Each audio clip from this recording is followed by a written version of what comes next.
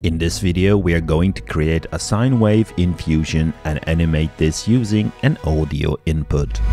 Let's start by creating a new timeline. Once we have our timeline, let's add a Fusion composition to it from the FX panel. Perfect, time to switch to the Fusion page. I'm going to start by adding a background node by pressing Shift Enter to open up the tool search and then link this to the media out node.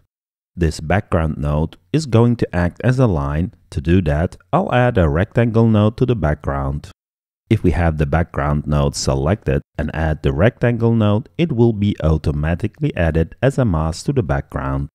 Let's modify the width and the height of our rectangle so that we have a nice line at the center of our view. Let me quickly change the color of the line to green by changing the color of the background node. Excellent. To get a sine wave, we can now add the waviness node after the background node. To get the sine wave, we need to set the waviness type to horizontal.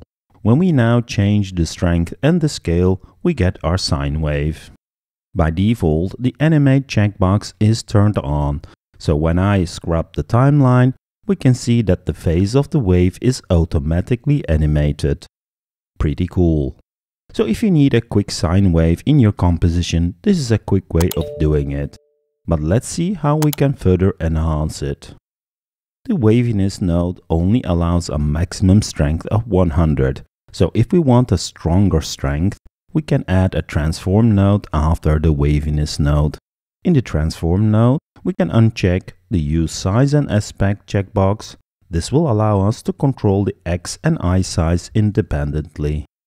I can now increase the eye size to further increase the strength of the wave. There might be a little catch. If the original line we used was too thick, the curved part of the wave will look a bit off. To get a better looking curve, best is to keep the original line as thin as possible, which we can do from the rectangle node by lowering the height property.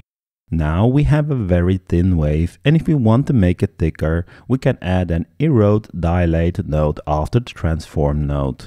When we increase the amount property in the erode dilate, we get a much better looking wave line.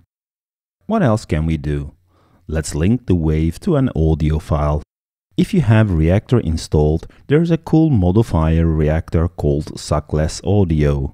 This will allow us to create a modifier based on an audio file. If you don't have Reactor installed, check out the many videos on YouTube on how to install it. Okay, so how do we use this? Let's select the waviness node and right click on the strength. From the pop-up menu, we can choose Modify with, Modifier, and there we have the Suckless Audio modifier. This will add a modifier tab to the inspector. First thing we need to do is to load a WAV file. Once our audio is loaded, we need to change the amplitude scale to something like 200. This modifier is driving the strength property of the wave, which goes from 0 to 100. By changing the amplitude scale, we are making sure that the strength property gets values within a range that would make more sense. If we scrub the timeline, we can indeed see that the strength of the wave varies over time. When we take a look at the strength property, we can also see that the value changes as we scrub the timeline. Pretty cool.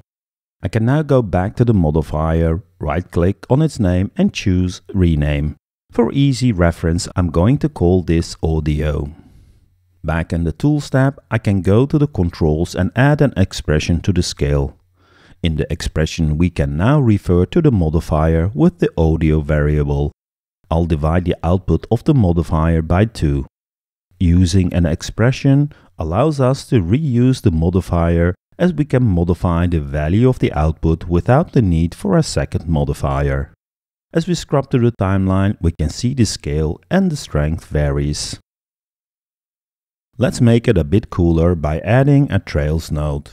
The Trails node will add ghost copies to the composition. I'll lower the gain in the Trails node so that they are less visible. The pre-roll frames is just for previewing, I'll just set this around 20. When I scrub the timeline, we got this cool ghosting effect.